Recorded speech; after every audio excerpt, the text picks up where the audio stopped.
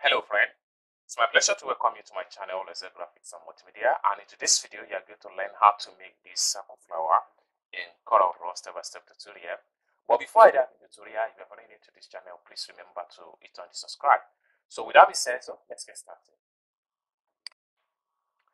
First thing to do is to go to your toolbar right here. Make sure you choose your circle. Then you can press Ctrl key down to draw your perfect circle. You can press P to centralize. You can always come to the home tab right here to control your circle radius. And uh, for the weight, you type in 800.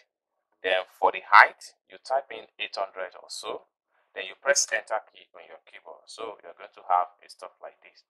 So next thing you can do right here is to double click on the circle. This allow you to have a rotation pane. Next thing you can do is to go to window. From window, you have to go to Dockers. Then you look for transform or you press hotkey on your keyboard. Hotkey plus F7, you're going to see the option. So from the very point here, you have to make sure that at this point here, you choose this and it's going to snap just like what you see right here.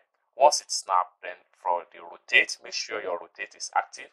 And then for the point here, make sure you type in 15 angle and then your copy should remain 24 and click on apply. So you're going to have something like this. Okay.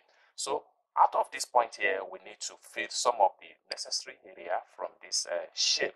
So for you to do that, you just have to press Ctrl plus to zoom out, Ctrl plus to zoom out. So this allow you to have a full version of what exactly you are doing.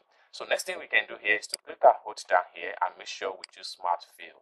So we can fill from this point here and this point and this. So Control minus. So for us to trace what we are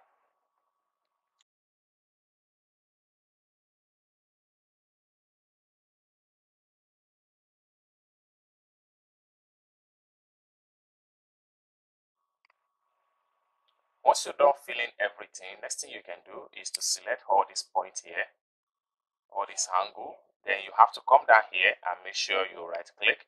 This allow you to remove stroke from all the shape. Okay, so next thing you can do here is to select one of the shape. So having select one of the shape, you have to click and hold down from this point here and make sure you choose interactive fill. Having choose your interactive fill, make sure you choose fountain. Then from the very point here, you have to change the color from this angle here. Click on here. So this time around, you have to pick a color. So the color I use for this angle is cyan. So you have to select this one also and uh, make sure you change the color.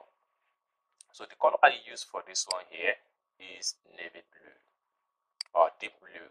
So having changed, get, get to this point, the next thing you need to do is to make sure you apply this particular color fill to the rest of the shape. So for you to do that, you just have to select all this point right here. And then you have to come down here also, make sure you choose your smart fill. This time around, you just have to select on copy fill and uh, pick on this color. So everything is going to be updated.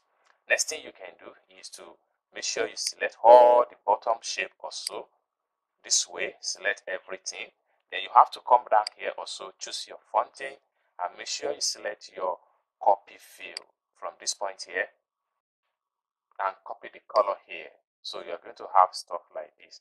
So the next thing you can do is to go back to your pick tool and then you have to make sure you group the objects this time around.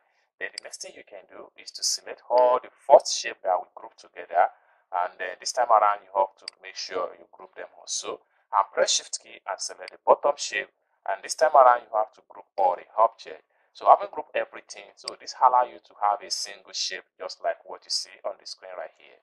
So next thing you can do is to press ctrl z to get, take it back. All right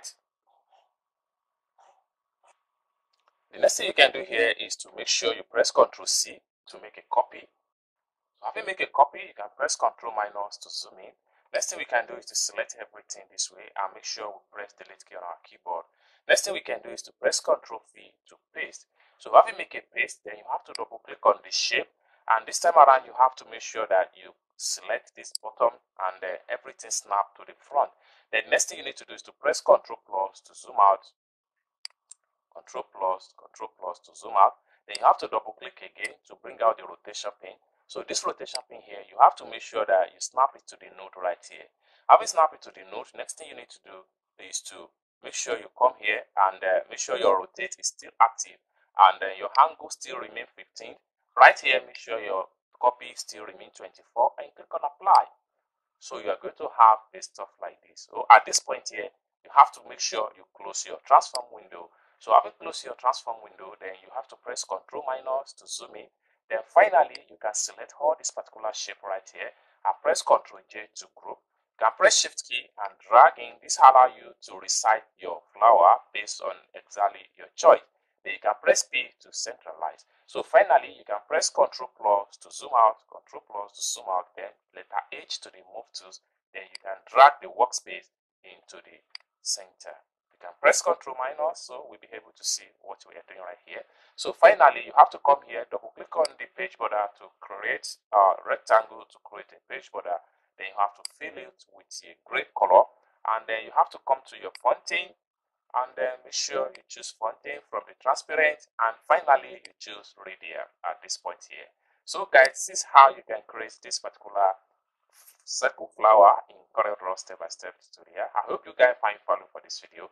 If you enjoyed this video give this video a big thumbs up. And also remember to subscribe to this channel for more tutorial like this. Thank you guys for watching and i hope to see you in my next video.